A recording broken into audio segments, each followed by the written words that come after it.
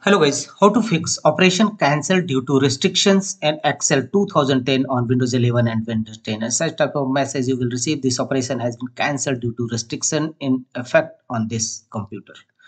And to fix this issue in your Windows 11 and 10 system, the first workaround is set a default browser on your system. Go to Windows settings by pressing Win plus I shortcut key. Go to apps from the left pane and from the right side choose default apps here go to set defaults for applications and launch browser which you want to set as default.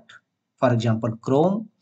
If you want to set microsoft edge as default browser then type edge we will for example choose select chrome.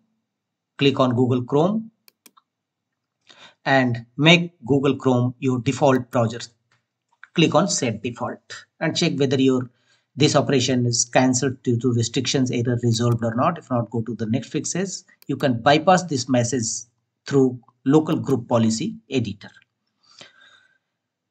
To launch local group policy editor go to run command box by pressing win plus r shortcut key. And here type gpedit.msc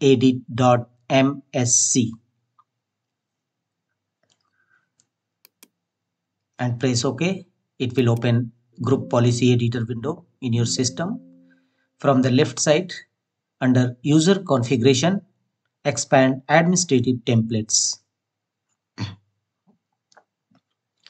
expand administrative templates. Here select system. Select it and thereafter go to right side and here you will find the option don't run specified Windows applications apply a double click on it to open its properties and make sure that it is set as if you found it enabled or disabled mode simply set not configured from here. And finally click on apply and ok to save the changes.